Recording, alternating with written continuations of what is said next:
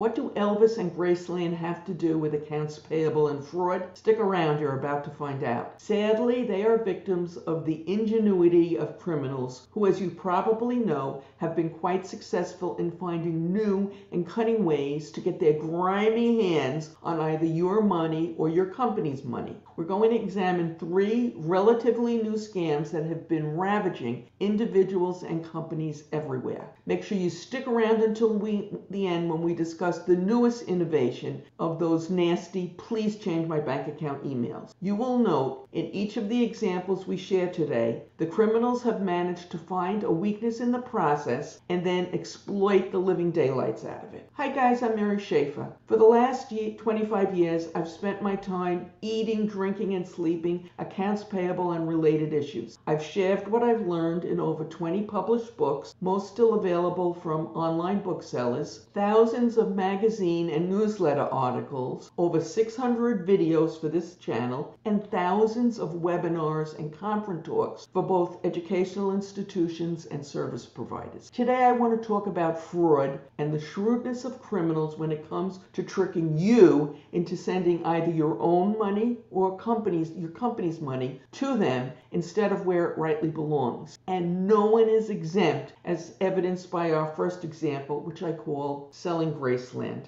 Now, as probably most of you know, Graceland was the home of the late Elvis Presley, the rock and roll singer. It is a, now a museum open to the public and it is owned by his granddaughter, Riley Keough. And I hope I said her name right. This iconic American landmark is visited by well over half a million people each year. Out of, the, out of what appeared to be nowhere, a company called Na- Nusay, Nusani, and I hope I'm saying that right, Investments and Private Lending LLC claimed that Lisa Marie Presley, Riley's mother, who was also deceased, failed to pay back a $3.8 million loan it had given her. It tried to foreclose on the property. It is believed that the loan documents that they presented are forged, and conveniently, the recipient of the supposed loan is not available to shed any light on the matter. In this particular case, the Attorney General of Tennessee stepped in and halted the foreclosure of the property until a thorough investigation could be completed. As we are getting ready to tape this, comes a report that the identity of the fraudster, and yes, it turned out to be fraud,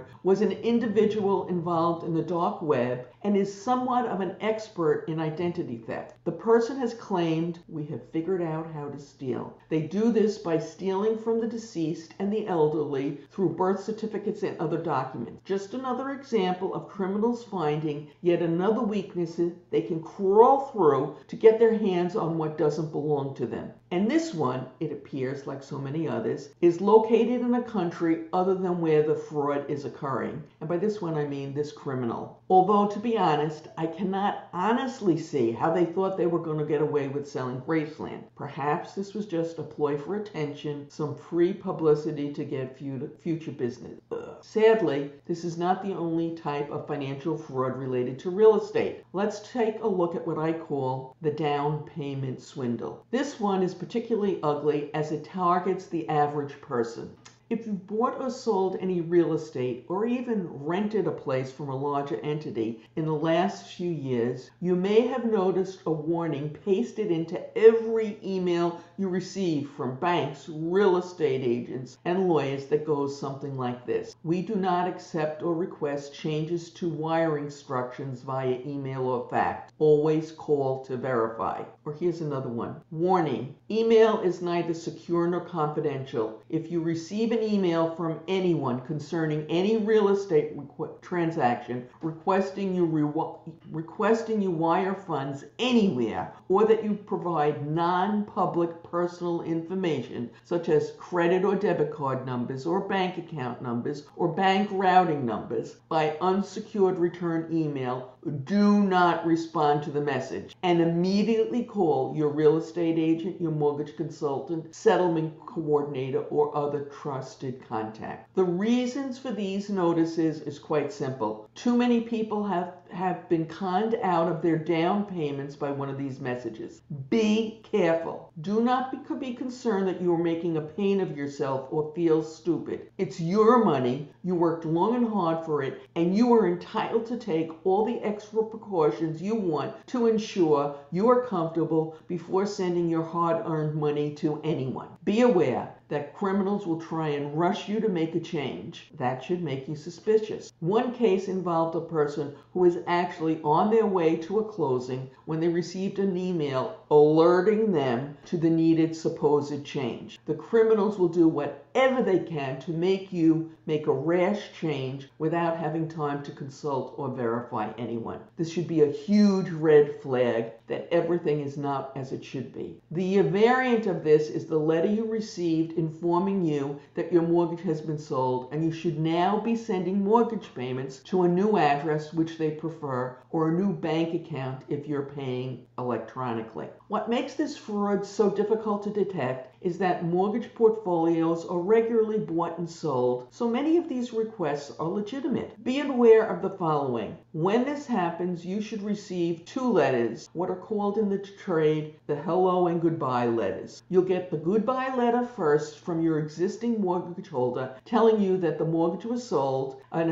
effective such and such date. You should start sending your payments to the new mortgage lender. Then you'll get the hello letter, the introduction from the new mortgage holder telling you where to send payments. Again, call and verify. And when you do that, do not use the phone numbers provided in the letters. This will not be easy. But remember, if you fall for the scam, you are still on the hook for the payments you made to the crook. It is your responsibility to send payments to the right place. I apologize if this seems harsh, but I want to make sure you understand the really ugly outcome of this if you fall for it, and I don't want you to fall for it. As with other types of fraud, be suspicious of change. Be suspicious of anyone who tries to rush you to make a change, and be suspicious if the person you are communicating with demands any sort of security. Remember, if you're wrong, and this is a legitimate request, you can always apologize. A little apology is much better than sending thousands and thousands of dollars to the wrong person. Okay, I'm going to move on. The next scam, uh, because that is exactly what these are, or what I call the reverse con. This kind, this is kind of the consumer variant of the please change my bank account for ACH payments, although it's happening to companies um, in droves, so maybe it's not fair to call it consumer. Accounting and accounts payable professionals who are familiar with this type of scam should make sure that their accounts receivable and credit folks are aware of this. This scam involves an email that goes something along the lines of, we're trying to send you a payment. The bank account number you gave us is incorrect. Could you please send your correct bank account number? Now, the odds of this being a scam are pretty high.